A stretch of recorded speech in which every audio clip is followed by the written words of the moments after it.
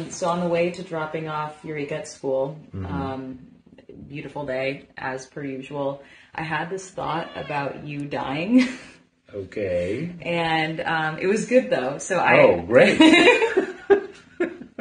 okay, so stay with Elaborate. me. Stay with me. So what I was enjoying the bike ride and I was imagining us being old together.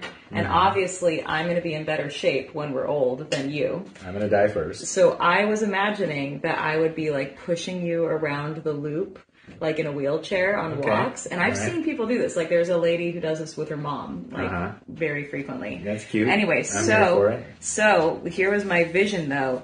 Is we would be like on this glorious day, like me pushing you Mm-hmm. along, just sort of like chatting, but also not chatting because we're old and we've said everything we could possibly say to each other. Okay. And and then I just like am pushing you along, enjoying the sunshine. That's and when I croak? And then then you and then I would like suddenly notice that you're not making any sounds, and then I would be like, oh my god, he just died on this walk, and then I would be super sad and devastated. But then I'd be like, man, what a way to go, just on a walk with And his then you wife have in to the sunshine. wheel me back to the house for another 20 minutes. Yeah. or call somebody, I don't know, and hopefully not get wrongly convicted.